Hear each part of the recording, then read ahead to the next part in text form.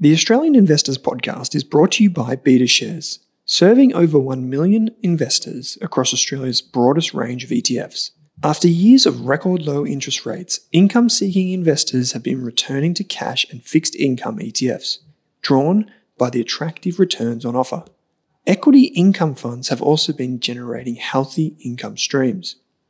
BetaShares provides yield hungry investors with a range of income focused funds to choose from, including ETFs offering exposure to cash, bonds, hybrids, Australian shares, and international shares. To explore the BetaShares ETF range, visit betashares.com.au and consider if the fund is right for you. I'm also proud to say that this episode of the Australian Investors Podcast is brought to you by The Intelligent Investor, Australia's premier investment research membership service. You can get a free trial for 15 days, no credit card details required. To access the insights of some of Australia's best analysts, including buy, hold, and sell share recommendations, click the link in your podcast player to secure your Intelligent Investor membership today. Hey there, here's a quick note. This podcast contains general financial advice only. That means it's not specific to you, your needs, goals, or objectives, so don't act on the information until you've spoken with your financial advisor. You'll find our full disclosure, disclaimer, and link to our financial services guide in the show notes. What would you trust more? A CEO with a goatee or a CEO with this? Goatee, definitely. Yeah, yeah. You could just be a fat miner if you're a winner life yet, are you? yeah. yeah. Uh, yeah, I feel like the handlebars are a bit more ruthless, but cowboys might work for like if you're in WA. Or something. Goatee is just, yeah, fat men have goatees because it covers their, it's a double chin. yeah, I like it. more trustable, more trustable. All right, mate. So today we're talking, uh, we're answering questions actually. We've got a, a bucket load that have been sent through, so I don't know if we'll be able to get through them all. But um, if you want to send us a question, if you want to send Drew or I a question uh, or some feedback for the podcast, you can head to any of the Rask websites and there's a link in the menu that says ask a question. so uh, it's it's really simple, and you can actually choose from any of the podcasts or wherever you want it to be answered. So it doesn't have to be this podcast, but if you do want it to be this podcast, it has to be the Australian Investors Podcast, and then we'll go through and we keep it fun. Uh, there are some. I ask you when you go through that um, to give us a fun name. So there's been a few of those thrown in the mix. Um, one of them I did a test. I forgot to exclude that one from the list, um, but.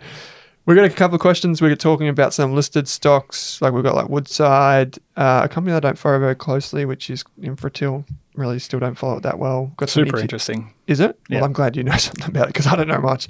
Um, but there's a heap of questions uh, for everything from portfolio construction, retirement, through to ETFs in individual companies. So, uh, if you want to ask a question, please like, jump into jump into those links, make it a bit of fun, and uh, we'll read it out.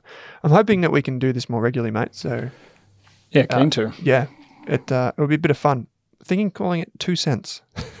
I don't know, but it's uh it's good because you know we got sometimes when you're behind the mic and you think, well, what can we do as an episode? What would people what are in- people interested in right now? We just don't know. So like some of these ETFs that have come through are like in response to a lot of marketing, so people want to know the answer to that. So we'll cover those. Anyway, enough of my fluffing around, mate. I mean, I get all these types of questions every day as an advisor, Yeah, clients or potential clients. that's why you write the daily article, right? Essentially, yeah. If you know, it sounds like it's a lot of work, but about half an hour a day, you c- capture everything that's happening in global markets, and you're able to kind of answer queries about individual companies before they ever come up. Yeah, which is so handy because otherwise you just answer the same thing a few times. Exactly. Um, okay, cool. So Drew's daily articles, you can read them on the Inside Network. You can read them um, on the Rask websites, wherever you get your news. So the first question comes from hoping to make millions, and they say WDS, which is the ticker symbol for Woodside Group. Despite the growth after 2020, long term, it's not showing any growth since late 2009. Is Woodside Group still a good buy for the long term, i.e., five to 10 years if I'm investing? What do you think? This is a stock that got me into investing. Unfortunately, This was your first stock. first stock I read. Ah. I think my dad must have told me read the financial review, find something you're interested in, go buy it. Yeah. I think I bought Woodside at 15 bucks in about 2005 and Right. something something about the oil price or something back then as we're talking about now. Yep. Sold it at 30, thought I was the best investor You would in because it's history. 33 now.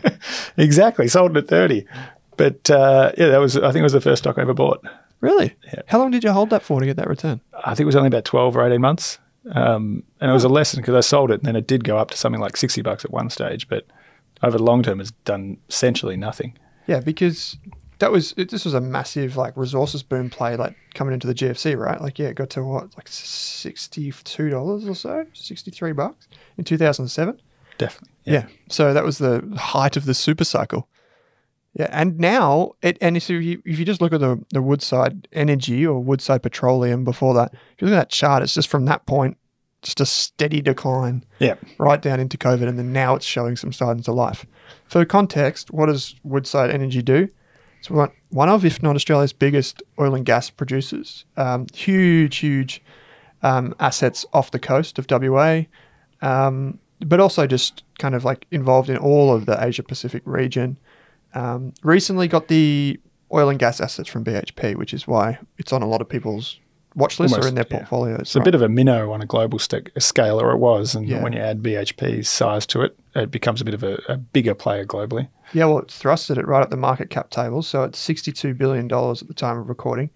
Um, both BHP and Woodside managed to pay huge dividends over the past year. I think for quite separate reasons. I think BHP is obviously iron ore and whatever, Yeah. bit of a separation of assets there. But with Woodside, we've seen oil prices skyrocketing, which is linked to uh, gas prices Yep. and Europe in an energy crisis. I mean, it's just your traditional cyclical company, Yeah. and you're seeing a massive cycle at the moment. And I think the question is, does that cycle continue? What do you reckon? Personally, I think while there's a lot of attention being paid to traditional fossil fuels because of the European energy crisis, I think it's a lot of the sector might have gone too far, and you know every strategy is loading up on them at the moment. But it's still clear, you know, we just had the climate change bill passed in Australia. We've had all kinds of climate and disclosure and energy bills passed overseas. Uh, I think it's clear that fossil fuel generally is, over the long term at least, is going to go into reverse. But what that looks like for the companies is probably a more challenging conversation, isn't it? Yeah, well, I mean, yeah, this is the thing, right? So just to put it in context, we know energy prices in Europe, it's a huge issue. It's a social issue as much as it is financial markets issue, more so. Um, the price that Woodside earned during its first half of 2022 was $96 barrel of equivalent. So that's up from 44 And zero for a while in March 2020. yeah, exactly. Remember that? Negative, right? so, um, if you think about that, you know, we're seeing a massive expansion of the the realized price, but the costs are still extremely low, and that's what's enabled it to pay a huge dividend. Is it sustainable? Well, I was just looking at the charts of just LNG prices. Um, they're at record highs, like all time records. So, if this is a cyclical business, I mean, I've always seen this as a wouldn't rely on trading stock. Anything Yeah. that's as cyclical that is solely reliant on a, you know, a, sing- a price of one input, it's just a price taker. Well, it's always going to be a trading stock. So it's not something you'd sit in your portfolio for 15 years because, as you can see, it's done nothing for 15. It'll Mm-hmm. have periods where it significantly outperforms, but it'll likely have periods where it significantly underperforms too. And momentum drives it.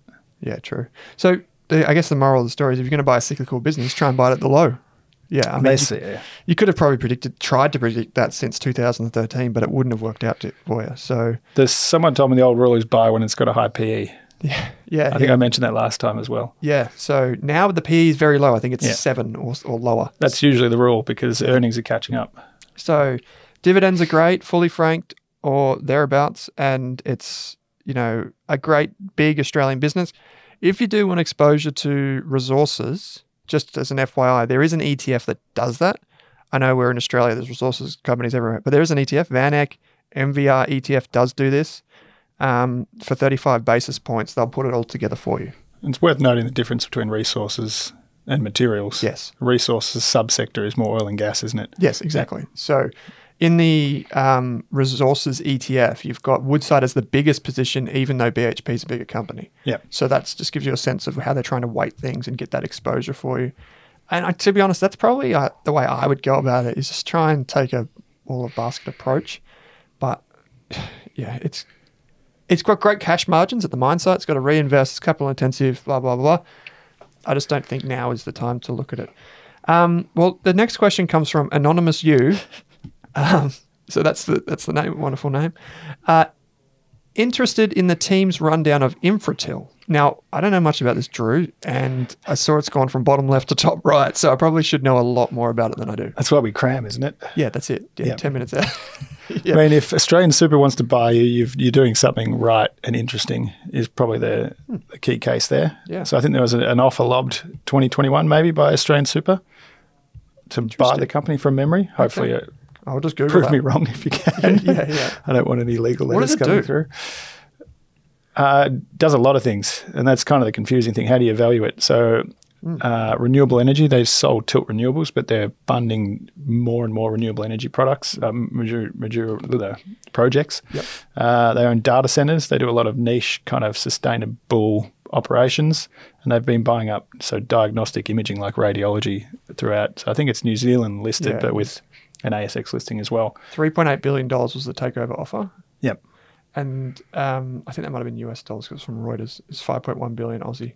So that's a big deal. Um, diversified asset base, super interesting. But if you look at tradition, like something time like an 80 times PE, so what is it? Is it an infrastructure company? Is it a growth company?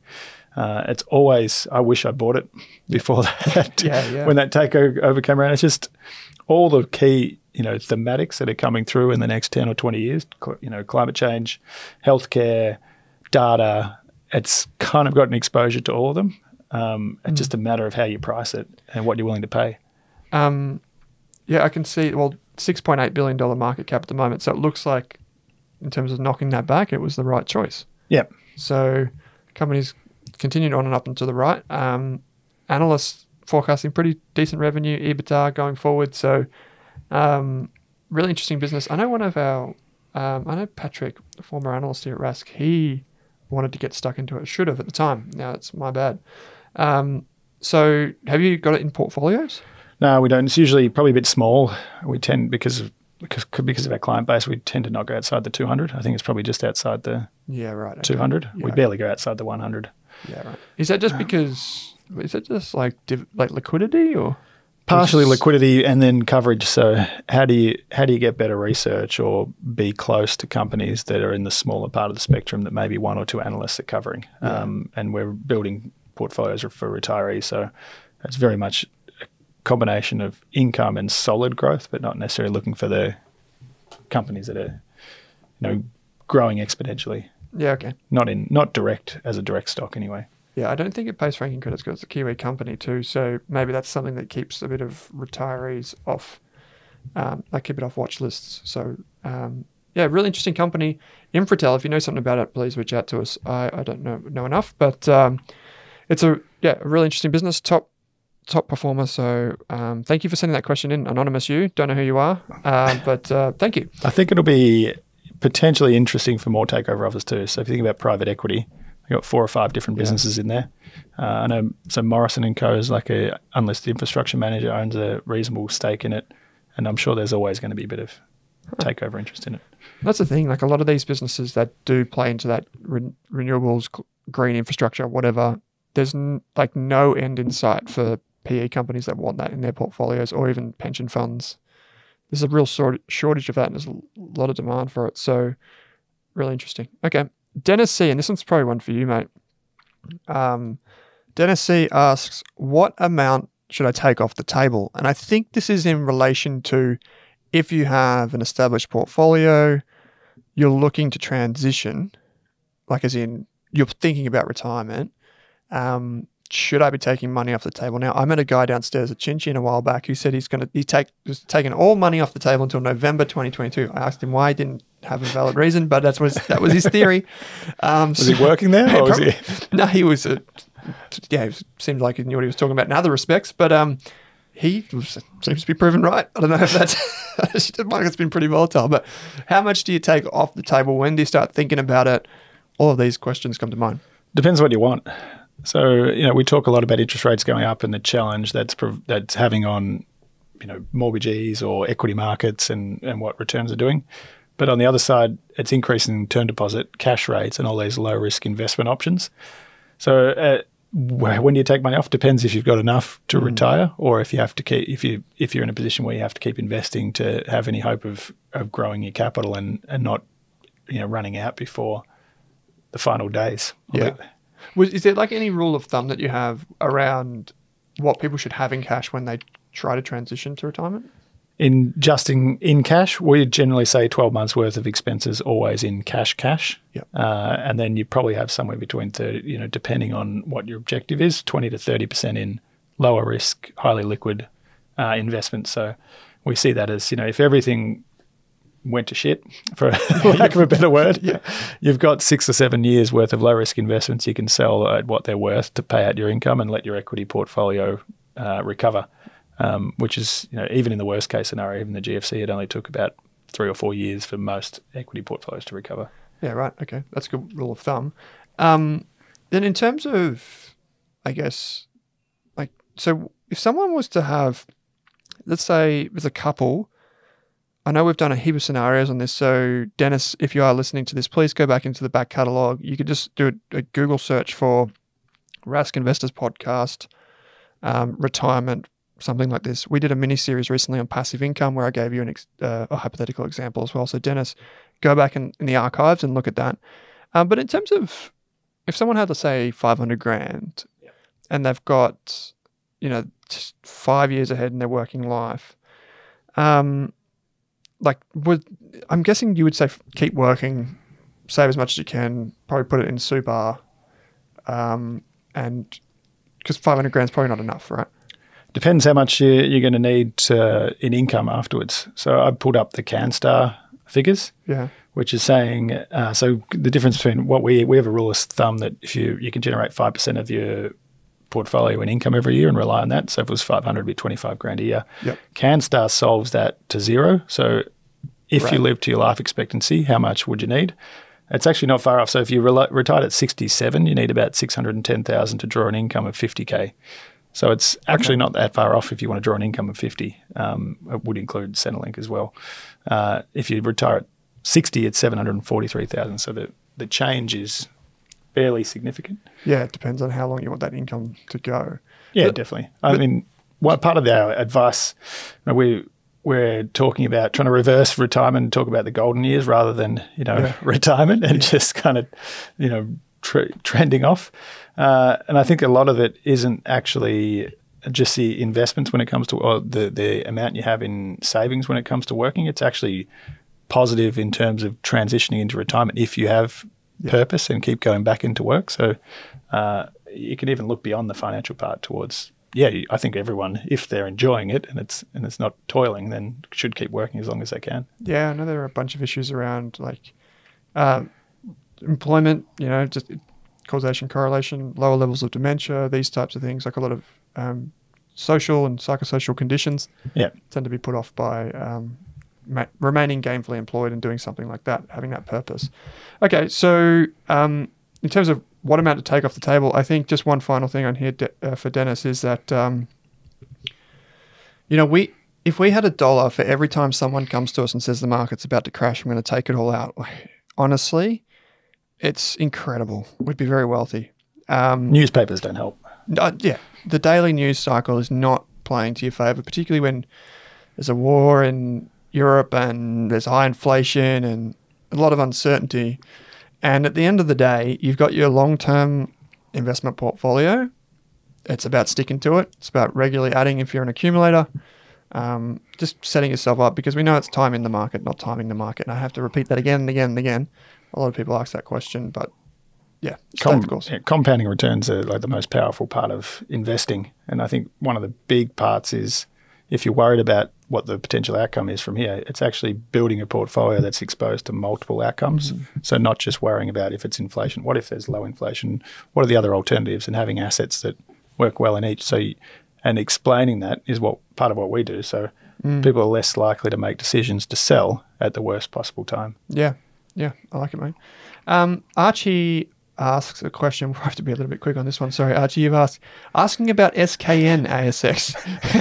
yeah, I had a look at this, Archie, and uh, I th- think it's Skin Elements. I think. Yeah, this Yeah. has to be because you said ASX. It's down 82% year over year. Not sorry uh, if I'm joking in my tone, but the re- reason that I laugh about it, Archie, is that it's a, a $7.8 million company. So it is tiny. Um, when you get down to this size, it this is private company size, to be honest. And even then, you know, it's not huge. So, um, Question would be what's the purpose of being listed? Because it wouldn't be cheap to be on the ASX. yeah, they'd probably be better off as a private company. But a lot of these things turn into something else. Like someone comes along and cleans it up. But it's, I guess it's down 78% in a year. So that's probably why it's 7.8%, uh, 7.8 million market cap. But um, so, yeah, I, I guess I, neither of us really follow this company closely. Um, just pulling up the, the report for the business, um, it looks like, and if I just go down, I'm just jumping through to It's like disinfectants and and Yeah. treatments. Yeah. Uh, revenue up 387% to 1.4 million. Uh, still reporting a loss of 1.6 million. Um, if we just go to the balance sheet, when it comes to these microcaps, the first thing, or nano caps, the first thing I look at is cash flow, you know, risk on the balance sheet. Um, has bugger all in the way of borrowing, so that's good. Um, it's got a fair bit in receivables, but in terms of assets versus liabilities, it's pretty strong from the outset. In terms of cash flow, I mean, it's reporting a loss, so $1.5 million cash outflow. And um, it's only got uh, $748,000 of cash at the end of the year. So if it keeps going backwards, it needs to keep raising capital. That's Yep. the moral of the story. So, more dilution and yeah. yeah. Um, sorry, can't be any more. We can't be any more help to you, Archie. Maybe uh, check out our friends at Strawman. See if any of the private investors over there have something to offer. But um, very small companies, so it should be uh, approached as such. And um, when we're building diversified portfolios, this is definitely well outside where it, um, you know, our core portfolios. Position sizing is key. Yep. Keep it small. Yep. Uh, Charbs asks, Oh no, you're going to skip the. Oh, the, the, the Bingo. Yeah, bingo, bongo, walla fella. So that was um, and then the message was uh, Owen is cool, and this is a test by me. So that was that was actually me testing the. You aren't getting enough questions. Is that Yeah. why you did it? Like, Yeah. Is anyone answering asking questions? yeah, we need to put questions into next month. No, uh, so what happens is whenever I do like tests for our, if I'm anything develop, developing something on the website, I never make it test one, two, three. I never, I always make it fun. So if someone in our team comes across it, it looks strange. Um, so if there's a thing on our, for there's like a dozen accounts with like um, the username uh, Juan Hernandez Garcia. Uh, and people always were like, well, what does this mean? And it's actually just the, the fake name that I set up for all the test accounts. so they think someone's spamming. Anyway, let's move on. so Chubbs asks, can you briefly explain what is the BetaShares Global Royalties ETF? R O Y L. You got my ribs again. Uh, Drew's, uh, just for those of you that aren't watching, Drew does have something going on with his ribs. So every time he laughs, it hurts. So I'll try and keep it as funny as possible. so R O Y L is this new ETF from BetaShares. Details? Sparse. um, you could say. So uh, this ETF, by the PR announcements, here's what it says. ROYL will provide cost effective exposure to a portfolio of global companies that earn substantial revenue through royalty income, royalty related income, and intellectual property income, including minor, mining royalties and IP intangible royalties. So, well, I guess royalties are just the things that people uh, or companies earn or certain institutions earn for, you know, mining tenements, for um, like intellectual property as it relates to like creative arts, for pharmaceuticals. If they don't want to produce themselves, they'll just outsource and collect the royalty. So this happens quite frequently. And there are ETFs overseas that do something similar to this. In the United States, it's a bit more of a developed industry in that royalties tend to spin off from infrastructure assets, from a bunch of different things, and you can invest in them separately. But this ETF, based on what I can read online, it's marketed as invest in David Bowie and all this sort of stuff. But at the end of the day, it's just going to invest in companies that have royalty, Royalty streams. Royalty streams. So we don't really have that much information. I couldn't find a PDS. I don't know if you found anything. And the closest thing you'll see is Deterra, so DRR listed on the ASX. Uh, and I think a lot of these royalties are owned by companies, whether it's Sony, if you're talking about David Bowie, probably not Sony, Yeah. or BHP. They'd own, they'd have royalty streams over multiple assets that they own. Some of them owned personally too. Uh, so you, essentially, you're just looking like a bond, or a Yeah. if you think about it, that uh, every time a David Bowie song plays, you get paid. The company gets paid one cent. Uh, and then the challenge of that is how do you value bond that's determined by usage Mm. and not necessarily price, usually volume for mining. How do you determine a value and what's your discount rate? Um, and who's determining the discount rate? Because that can change incredibly quickly. So Deterra trades on, I think they've only got a few royalties, Deterra. Yeah, Um, I'm not familiar. I know at a high level what the business does. It does like uh, resources royalties, right? a couple of iron ore royalties, I think. Yeah, right. Uh, and it trades on a PE of 12, so not particularly expensive, not not overly cheap either. But you know, you, you're constantly going to get cash flow from it. Maybe it's a little bit variable each year. Uh, but the question is, what's what's the value if if bond yields go up? Does it devalue that income stream significantly? Um, and I assume there's eventually legislative risk. One of the things, I guess there's two things that I thought about when I started reading articles about this ETF is the first is if it's giving you uh, exposure through companies, probably the number one thing is how do they filter companies? So how do they filter like companies? Do they have to earn X percent of revenue or is it something else? Yep. Um, What index are they tracking? yeah, how do they actually do get the exposure and what ends up in the portfolio is probably going to be very. It could go to one extreme or the other. You could end up with a portfolio that looks very similar to a lot of other ETFs, just with a different skin. Yep. So you want to know exactly what's in it, what's in the filtering process. Um, and at the end of the day, something that we always uh, emphasize is that you're going to be taking equity market risk because you're investing in companies. It doesn't matter what they do, you're still going to be taking the risk, just like the uh, market risk of the stock market. So keep that in mind. Uh, it's probably not as pure as what people are thinking. Like saying that it's like you're investing in David Guaranteed Bowie. income. Yeah. Yeah, or something like that. You- never There's a lot of style. between that marketing and what you're actually getting.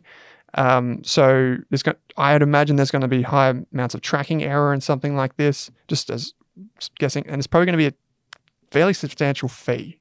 We don't know the details, but I mean, yeah, the, yeah. There's a few things I could say about it, but I just think keep your keep your like your eyes open to what you actually get inside the ETF. And without knowing much detail, I'd say it's not necessarily something I'd be looking to put in a core portfolio. I like to wait a couple of years. It definitely would sit on the satellite, and I would think it would be quite a momentum Yeah. driven. You know, during periods of volatility, I'm sure these royalty streams will become attractive.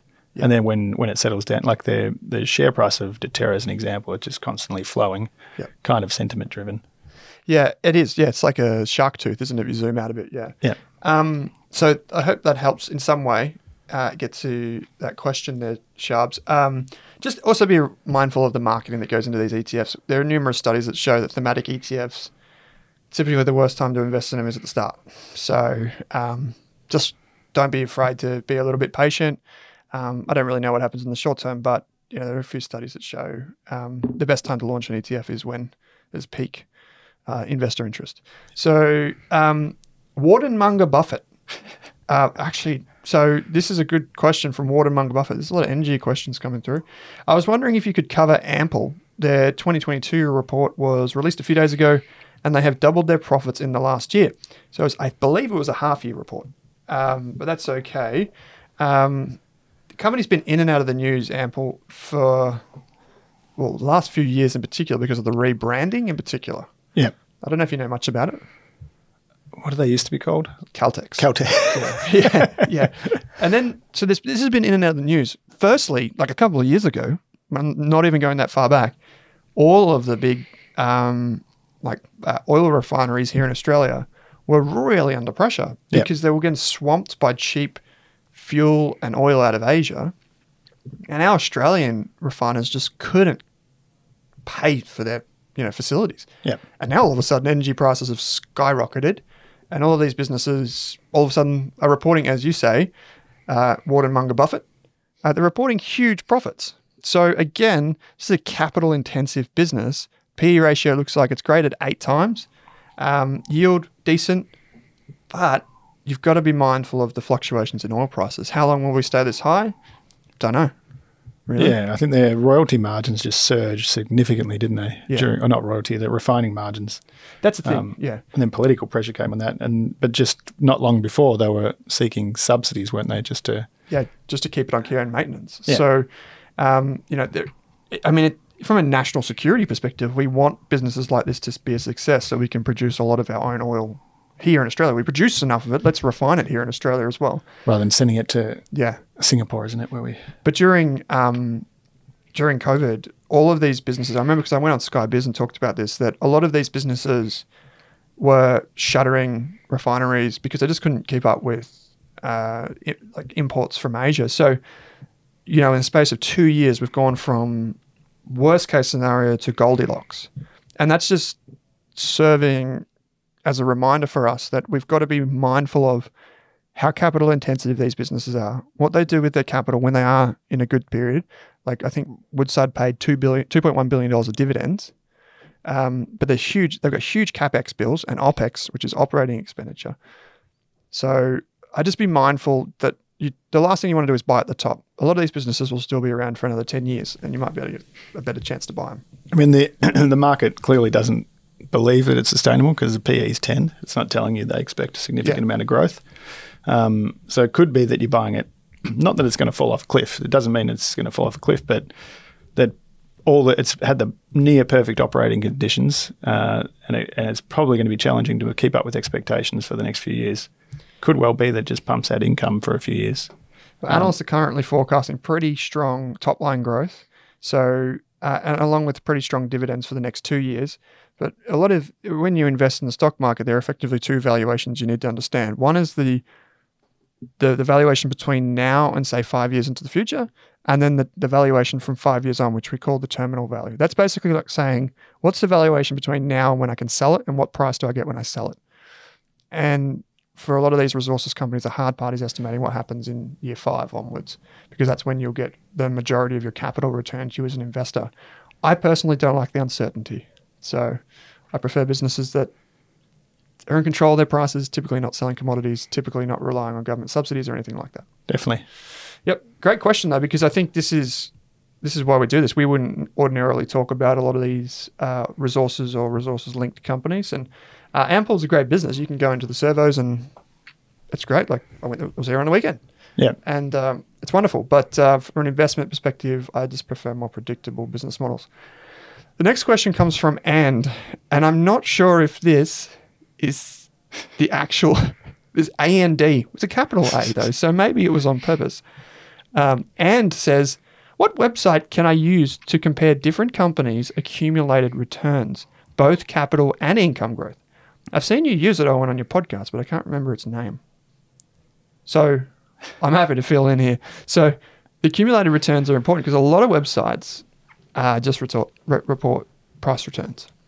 Like our website just reports price returns. And benchmarks reinvest dividends. Yeah, that's it. Exactly. So you can see, like, if you compare, say, I don't know, some like an index um, to a stock, you might miss out on a lot of the dividends, and that's typically what is explained.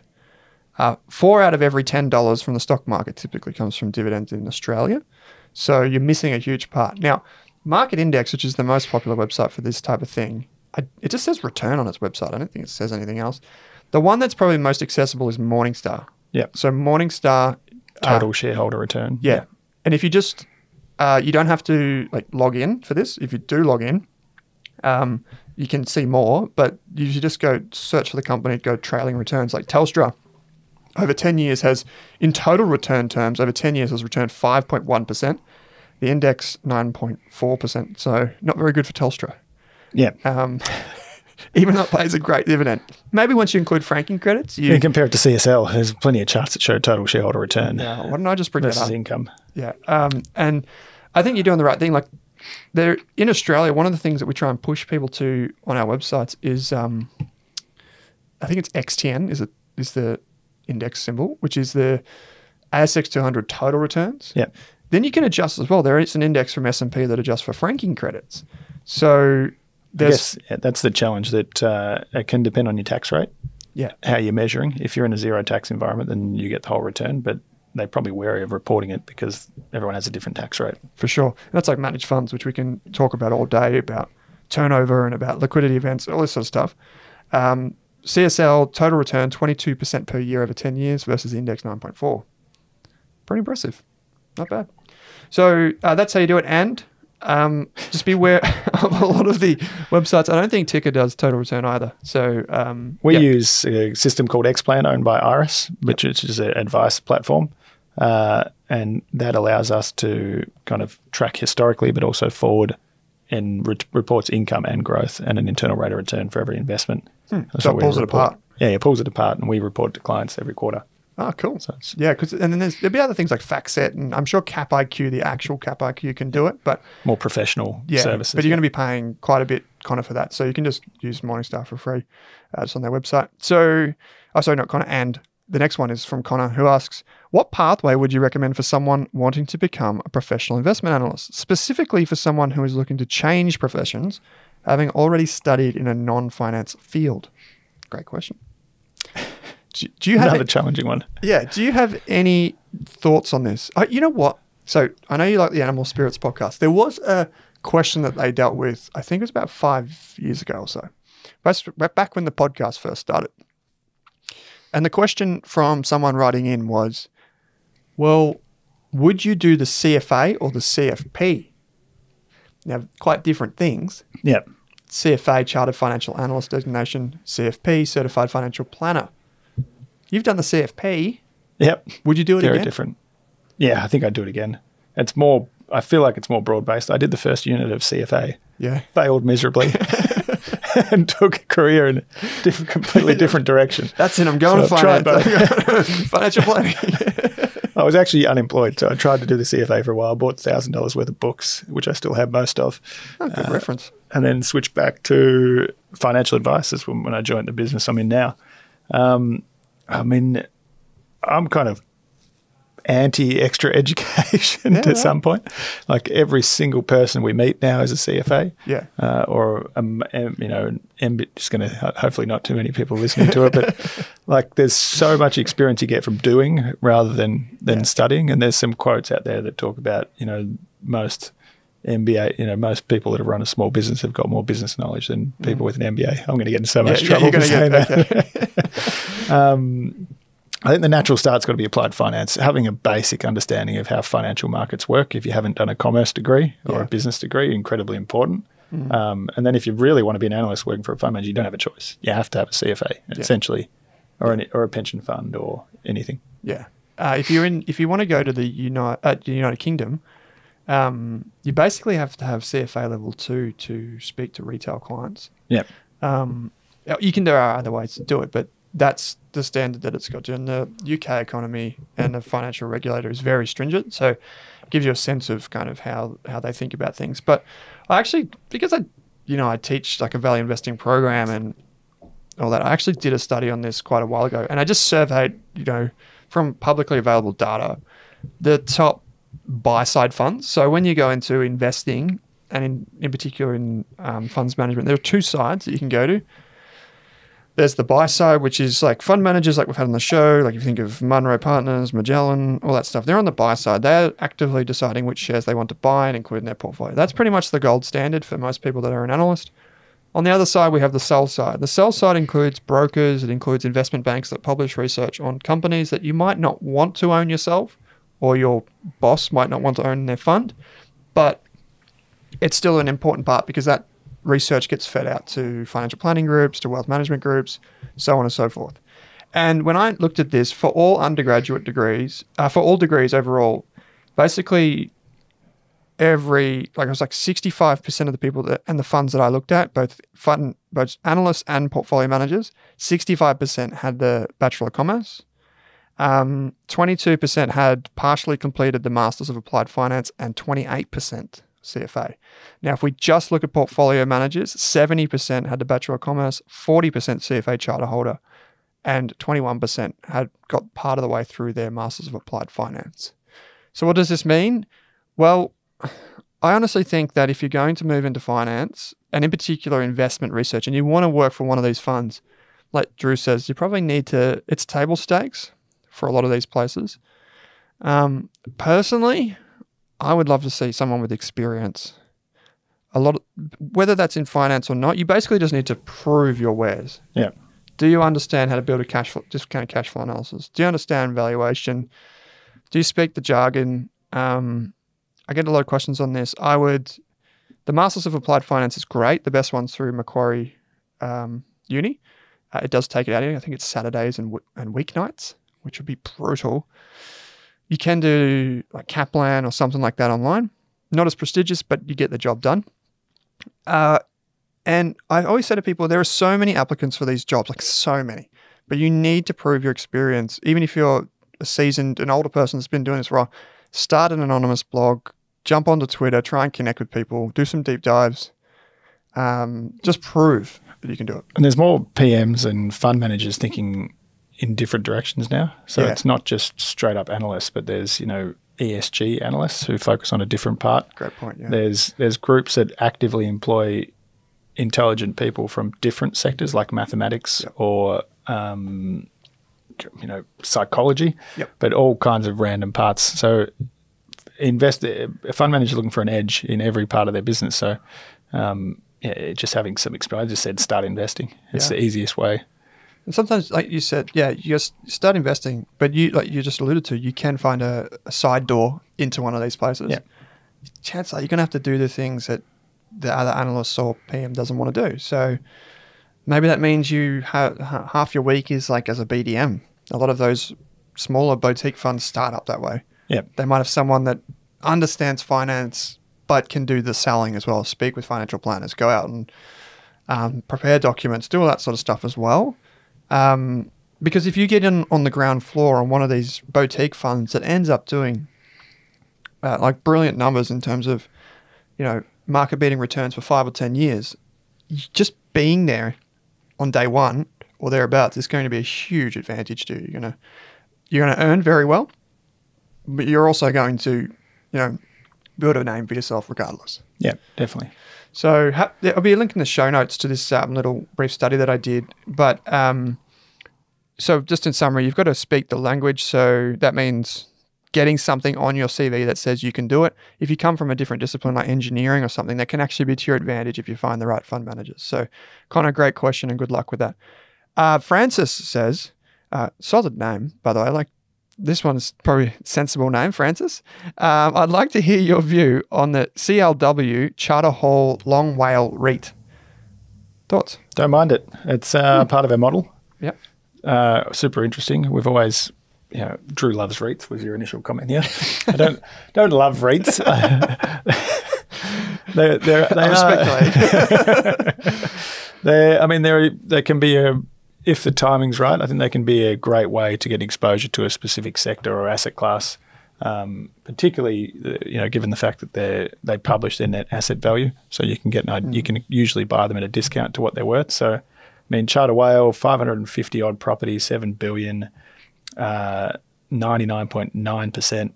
Um, What's it, non What's the uh, no, Least. essentially no vacancy. Yeah. Uh, and an average, so long WALE just means weighted average lease expiry, which means there's 12 years on average to each of their leases comes up. And the portfolio is everything from logistics centres, so like Woolworths to service stations uh, all around Australia. I think some in New Zealand. Um, we, it's in our models. Uh, it's performed poorly the last few months. Essentially, investors have sold it off on concerns that the valuation rate or the cap rate, which is about 4.35%, is going to be impacted by higher bond yields. So if bond yields are higher, term deposits are higher, people want to pay less for property. So at 4.35, they're suggesting it's it's overvalued, and the net asset value kind of shows that its net asset value is six dollars seventeen, and it's trading about four ninety eight or so. So a hmm. significant discount to net asset value. Um, I think it's one of those stocks that gets caught up in in the bond yield sell off. You know, it's property, it's bond yield driven. Let's get out, and that's why there's a pricing differential. Whereas the types of assets they're holding aren't selling at thirty percent hmm. discounts. They're just they're barely even trading if they are, hmm. or they're selling at reasonable prices. Well, I So- got long WALE, so nobody's Exactly. selling You don't need soon, to but they sell don't them. have to. Yeah. exactly. So would you then? That's all sounds pretty compelling. Would you then, if you were thinking about this investment now, it's a long way from its NTA. Would you wait until you you get some sort of? I mean, I know you you have it in. I think it's a long term. You could buy it now and hold it for a decade if you wanted to. It's quality assets, constantly turning over. They're always acquiring more.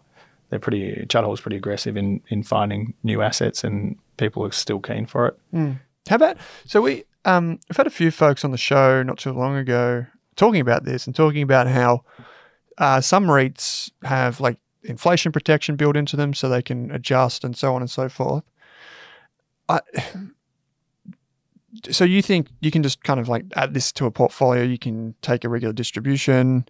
Um, you don't necessarily need to wait for, I guess, bond prices to stabilize and then wait for it to. They kind of already have. So they, you know, bond yield, ten year bond yield peaked at ten at four percent or close to four, and it's back at about three point two or three point three now. So the the bond market's telling you something slightly different, and I think people are starting to get concerned that the economy may not be as resilient Yeah. as it is, and inflation may actually fall off pretty quickly if you know things like rent and uh, oil fall in the US particularly. Yeah. So I think there's always a risk that bond yields keep going up and they keep selling it off, and there's a negative view on the sector. But I think it's in the right thematics and and sectors at the moment, and you're getting a pretty good deal. It's probably a question of when you sell it. You'd probably sell it closer to NTA. Yeah, okay. I like it because we hear a lot about cap rates um, getting squeezed, but it's probably we're probably there now. So Yeah. yeah. So yeah, it's um, just need to wake up and you realize that. But um, okay, interesting. Because and so maybe I'll just be very selfish and throw one more question in, mate. So in a portfolio, is there like a an upper bound for how much you would want in REITs, generally speaking?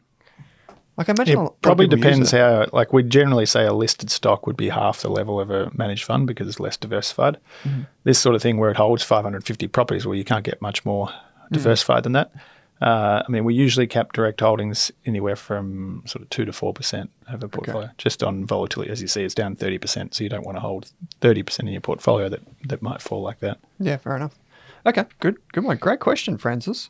Um, investing Bandit. That's a name. I like that, Investing Bandit. uh, very simple question too. Advice on ABB reporting season. So this is Aussie Broadband does over the top internet connections. Aussie Broadband, great customer service. Am an advocate. Don't get paid to say that, but I am a, an avid customer and I, I love the service from Aussie Broadband. If you haven't already tried them, it's worth a crack. Uh, so Aussie Broadband uh, is listed on the stock exchange. Hasn't been listed for too long. Started out life below two bucks a share, rose rapidly uh, up until earlier this year, being 2022, to around about five dollars ninety, and it has collapsed recently to two dollars forty six. So it's halved. Um, thing is, still achieving very strong growth, still posting you know higher and higher revenue numbers. Um, estimates going forward are very strong top line growth, very strong top line growth, and also earnings per share growth. So analysts are guiding for much stronger growth. I think maybe this is a, a, partially this is something to do with increasing competition, but also people thinking, well, how much faster can it grow, right? What price are we prepared to pay for this? Did it get ahead of itself? Yeah, probably. It's very growth oriented in a inflationary environment. Perfect, perfectly tend to grow. timed IPO, I think, wasn't it, as well?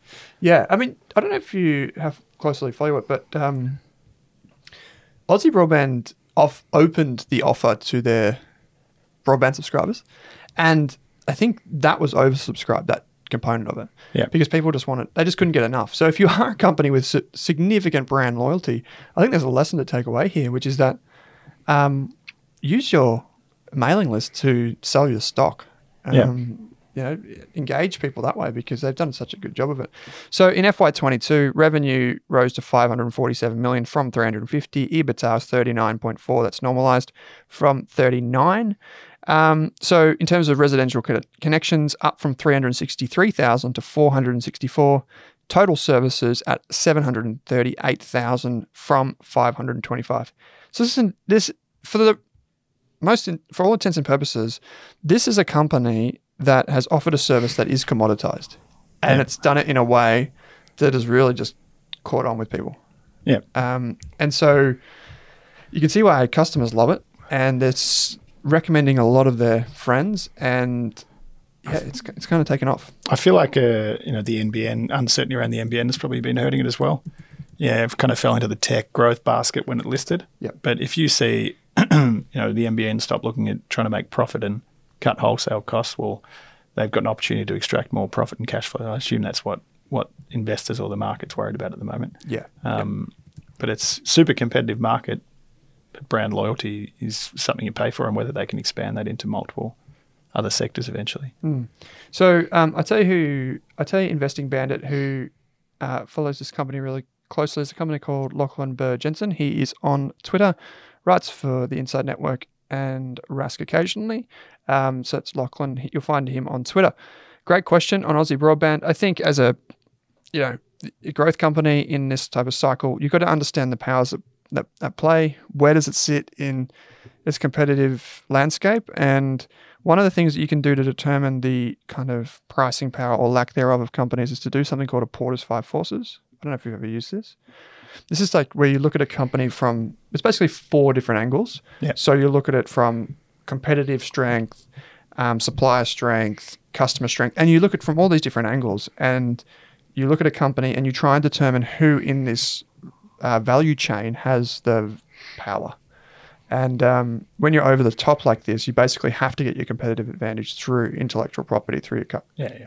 customers. So, how, like, you've got to pay a lower multiple for a company that doesn't have true pricing power.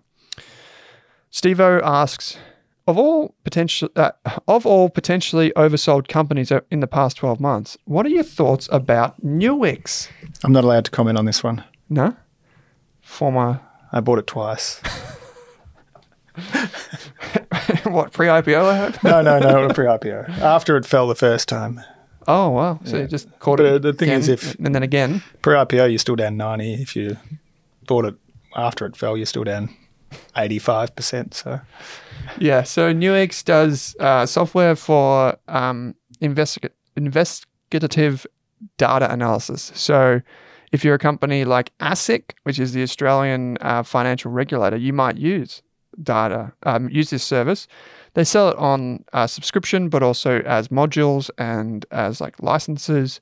Companies transitioning to selling via subscription and consumption-based usage, which is a a, a play to try and get it in into kind of, I guess, a more scalable business model where it can grow and without really having to do much. The thing that really uh, you should know when you look at a company like this is when a company that sells a lot of software, you've got to look at the um, income statement and you've got to compare that to the cash flow statement because this company actually, if I'm not mistaken, capitalizes a lot of its intellectual property and the spend on uh, R&D. So you can see looks like great profitability because it's capitalizing a lot.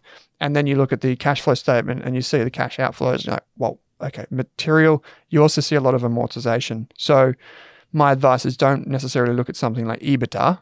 Maybe look at proper free cash flow from the cash flow statement before you make an inference about the company's performance. don't buy falling knives is the other Dead cat bounce, don't buy a falling knife. Yes. so just 101 of investing. so if you don't know the context around Nuix, Nuix is a, as I just painted the picture, then sounds like a pretty interesting software company. Should be like growth focused, blah blah blah. IPO'd by Macquarie, um, subsequently crashed and crashed in a spectacular way. There's a lot of news that we don't need to maybe get into about um, what happened around the time of the IPO, about prospectus forecasts, about insiders class actions currently underway, um, which obviously always hangs over the top. But in terms of the the business, uh, as kind of just a general look and feel, new CEO, um, new chair, I believe. So you're getting into Super interesting business. super interesting business. One of the things to keep in mind when a company's been in it, not necessarily private equity, but it kind of is with Macquarie. Um, if it's been in a situation like that, you've always got to know who you're buying from when it comes to IPOs. And if you're buying from a company that is extremely intelligent, like Macquarie is, got a lot of sharp people there, how like what's your advantage in understanding the business? Sorry, Drew. you didn't buy in the IPO. You bought Not in the You IPO, bought, you yeah. bought post IPO. You're catching it. It's undervalued. What's that sa- saying? Still is. turn around seldom turn. Um, but, but if you look at it, the business itself these days, there's a lot of stock held by Macquarie still. But if you look at it, I think it's about 160 million, Drew. I could be mistaken off the top of my head in terms of uh, the ACV, which is the um, contracted value. And so if you look at that, yeah, it's about 160 million. Um, and the business isn't actually that big anymore because it has fallen so far. Yeah. So you're getting down to kind of like deep value territory on a business that should be getting better. So the value, the classic value play is you buy a company that's not as bad as people think. This is probably the one. Yeah, I mean, the lesson for me, yeah, yeah, is uh, get your core right and position size appropriately. And I think you know stop losses are difficult in a core portfolio, but I think if you're going to have X 200 kind of stocks, maybe it was in the two hundred, uh, have a stop loss in out, outside of you know in, in your speculative kind of holdings. Yeah, and that's where this business would probably fit. So just from, um, I don't know if this includes unlisted stocks. So I don't know where this data comes from. Uh, 250 mil market cap uh, against a annualized contract value of around uh, 140. Um, as I said though, on a free cash flow basis, it went negative last year because you, it looks like on paper, it looks like an EBITDA, you know, a pretty, you know, positive, right? But if you get down to the cash flow statement and you deduct, you know, everything that's not included in that kind of uh, amortized R and D, um, you get to what is it? Even just deducting, so thirty million dollars cash receipts, deduct fifty-one million dollars for net investing cash flows. Um, I don't know if it's got any leases to disclose. I have two point seven million. So you're going backwards to the tune of about twenty-five million a year. Yep. Um, they're investing heavily, they say, in new technologies to try and add on packages. Interesting at these levels, Steve. Interesting, definitely more interesting than it was. Sorry, Drew. I just Don't make me laugh. I'm just closing out Drew here. I'm just looking into the screen at you, Steve. Um, yeah, interesting. Definitely. So I, I still like the company. Obviously, uh, growth expectations got ahead of uh, where they actually were. They're great at clearly great at parts of what they do. So, yeah, Yeah. I can't give you a buy on it though. Yeah, it's just it's extremely volatile. So it could be one of those ones where it does turn um, because it's got such a loyal customer base. But there's two sides to every business. They've got to clean up that cost side of their their balance of their income statement uh, and the cash flow. I'd want to see it cash flow positive. There's a there's a thing, Steve, that you know there's a saying that turnaround seldom turn. You can wait for a company to turn typically before you look at reinvesting into it. So keep that in mind. All right, final question. We've been through a lot today, Drew, which is build. This is from Building Wealth in Silence. That's a great name. It's probably that's probably the a podium finish. Building Wealth in Silence says best exposure ETFs to India. I love it how people are just like very concise with their words. Give us the Google. keywords. Um, so best exposure to India. Now, if you go back in time, just quickly, if you go back in time and you Google ETF securities India, the first thing that pops up that's not their website is this podcast channel where we interviewed Kanish Chugh. So you can go and you can hear it straight from Kanish. Um, but there are two ETFs as far as I couldn't, unless it's like active listed funds, I couldn't see any others. Oh, there's a group called India Avenue, I think, which is a, Oh, yeah, Avenue, a, a, a fund manager or a, managed fund, not an ETF. Yep. Yeah, they um, I think they're based in Sydney, India Avenue. Yep. And the way that because I met with those guys, and the way that that fund works is actually context matters here. So when you invest in India, uh, it's a little bit different to U.S. equities and things like that. To invest up until a little while ago, to invest in India, you needed to be in India or be you know an Indian citizen and those types of things.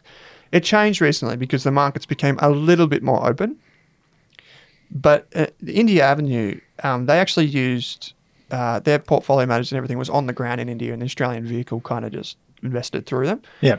Um, I'm not 100% sure how the BetaShares one works, but there are two options on the ASX. Did you, did you know much about these, or do you want me to riff for a little while? You can. I'll have a slightly different view. Okay, yeah, there are two ETFs uh, that invest here. There's the ETF Securities ETF, which is slightly lower fee than the BetaShares one. They launched about the same time, by the way. Um, and the the ETF from uh, BetaShares is basically it, it, it, it's it's a fundamental ETF, so it's not traditional market cap weighted, meaning that it invests in things like um, low debt to equity, um, really playing into that quality factor, return on equity, and those types of things. Whereas the ETF securities one invests in just traditional uh, top 50 stocks. Very similar names in the top 10 holdings if you do look at them, because it is a quite top heavy index. Um, even though there are quite a few listed entities, it is a quite a top heavy index, like some of those Middle Eastern stock exchanges as well, where there are a few names that are relevant around the world, but then not much beyond that. Yeah. Um, so you could invest in either of those. personally, the the, B, the BetaShares ETF is actually bigger, um, which I'm surprised about because I feel like the ETF securities just they're very, splitting hairs a bit here, but I feel like the ETF securities ETF may be a better quality ETF in terms of More pure index. yeah, more pure. Like if you're looking to cash in on India, it's just there are some criticisms about using a market cap weighted. I know that there are in some of these emerging markets, but it's very simple and it's a bit lower cost, and you kind of know what you're going to get. And obviously, India is a very attractive uh, economy because it's growing so fast, and things like IT and that are huge. So I don't know. The, I guess the question here, Drew, was which of these ETFs? I'd probably err on the side of the um, ETF securities ETF. It has performed slightly better. Both of them have huge tracking error. The difference between the fund and the index. That's my riff. I probably agree with you, and probably it's probably worth giving context. When we build a portfolio, we're more likely to buy Asia Yeah. that has an exposure to India. Yeah. I think because there's uh, there is, I mean, not uncertainty. It's a lot of concentration into a single economy, similar to doing it here as well. Yeah. So we'll always look at a look for an Asia strategy rather than emerging markets, and one that has a significant exposure to India, anywhere from 50, 15 to thirty percent. Um, I've always found that interesting because you you essentially you're buying demographic trends and societal trends that are similar across the region, um, and we tend to find it less volatile when you go multiple countries rather than just one economy. Yeah. Yeah. Boring. Yeah, no, I agree. I I guess the question is, if you're in, investing in India directly, you the thing I'm guessing the thing that building wealth in silence here wants is purely to get growth, and so this should probably be in your satellite exposure if it's anywhere, rather than you know broad based because you're taking a lot of country risk, you're taking um, currency risk, so you want to make sure that um, your position sizes are accordingly. And in I don't know about you, Drew, but just as a kind of broad strokes, it's not maybe it's not very f- friendly to say this, but I actually do prefer in some instances I do prefer active management in some of these countries Yeah, because there is still um, inefficiencies that can be exploited. definitely. It's not always the case. You don't just go and buy any fund manager, but the FEMX managed fund, which is listed on the stock exchange, that's from Fidelity. They do a lot of work in emerging markets, so I'd encourage you to go check that one out as well. Um, listed product, yes, um, but it provides that active exposure. Yeah, definitely. I'd share share your view. It's it's inefficient. Most of these countries award which rewards active should reward active management. Should reward, yeah, for the most part. It's more, yeah, you're going to get information, or maybe not information symmetry, but you're going to get um, benefits of these economies and these stock exchanges not having the same coverage, you know, a better appreciation of governance. One of the big reasons, and a lot of people overlook this, that Austral- the Australian stock market has been the best performing in the world is because of our governance and our kind of getting to being a first world country and um, being resource resource rich, of course, which protects protected by property rights. It's a very fruitful place to invest. So that's where having that expertise on the ground, people that understand when it's not so clear cut, which companies are going to manage that and profit, um, it's useful. Definitely. Cool. So that's a very, very, very long episode, Drew. um, so if you do have a question, please send it in to us. Um, if you like the format, please let us know on Twitter, LinkedIn, wherever you get uh, your social media. You can send a question through to us. There'll be a link in your podcast player, so you can do that now. You can also get in touch with Drew at wattlepartners.com.au. There's a contact us page there. Go and check that out. Uh, if you're interested in financial planning, doesn't matter where you are in the country. I think you're jetting off to Adelaide, Adelaide, and Perth this week. Yeah. Adelaide and Perth. So the man can get on a plane. he has done it before. Um, and then to Noosa. in October. Yeah. Yeah, Noosa in October. So, geez, all the good places. So uh, be sure to get in contact with Drew. You can find me on Twitter at Owen Rask, or you can head to the website and find out more about what we do. Drew, mate, absolute pleasure. Thanks for joining me. Always a pleasure. Thanks.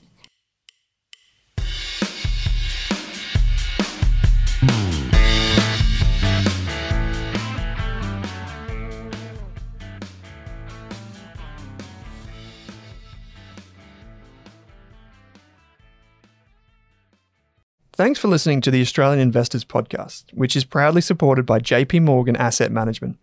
JP Morgan Asset Management provides opportunities to strengthen and diversify investment portfolios through alternative income strategies with the JP Morgan Equity Premium Income ETF, or ASX JEPI, J E P I, currently the world's largest active ETF with assets under management of US $25.49 billion as at the 16th of May 2023.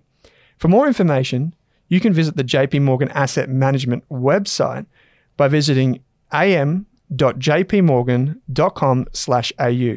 That's am.jpmorgan.com/au.